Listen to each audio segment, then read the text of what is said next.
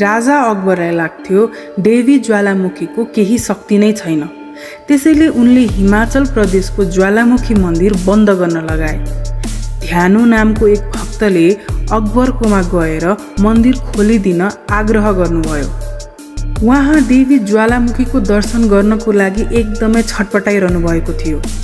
यो देखेर अकबरले मन्दिर खोलिदिन्छु भने तर ध्यानु मन्दिर गएपछि अकबरले आफ्नो घोडाको शिर काटिदिने भने।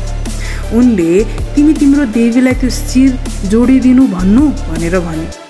यदि शिर नजोडिए ध्यानुलाई मृत्युदण्ड दिइने भने।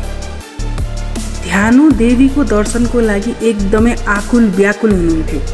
उहाँले चुनौती स्वीकार्नुभयो। अकबरले घोडाको शिर काटेर कोठा बन्द गरेर राखे। ध्यानुले देवीकोमा गएर पूजा प्रार्थना र आराधना गर्नुभयो तर केही जवाफ पाउनु भएन। ध्यानुले राजा अकबरले आफूलाई मार्ने कुरा पनि भन्नुभयो तर देवी ज्वालामुखीबाट केही सङ्केत नआएपछि आफ्नो शिर काट्ने निर्णय गर्नुभयो।